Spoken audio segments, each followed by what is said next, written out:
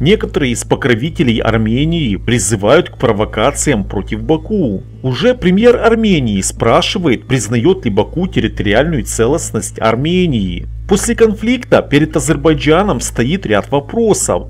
Об этом заявил председатель Центра анализа международных отношений Фарид Шафиев. Он сказал, что Азербайджан смог изменить парадигму благодаря своей победе в Отечественной войне. Уже премьер-министр Армении спрашивает, признает ли Азербайджан территориальную целостность Армении. В эти годы наши земли находились под оккупацией. Главным вопросом для нас было обеспечение территориальной целостности Азербайджана и освобождение наших оккупированных территорий. Мы уже изменили эту парадигму. В постконфликтный период мы видим, что США и Франция пытаются активно участвовать в этом процессе. Мы же пытаемся продолжить процесс с Арменией в основном в рамках платформы Евросоюза, но Азербайджан готов к дискуссиям и с другими странами. Если какая-либо страна хочет внести свой вклад в этот процесс, то мы приветствуем это. Позиция Азербайджана в отношении процесса ясна. В феврале мы обнародовали принципы из пяти пунктов. Они были представлены армянской стороне, но, к сожалению, армянская сторона откладывает этот вопрос.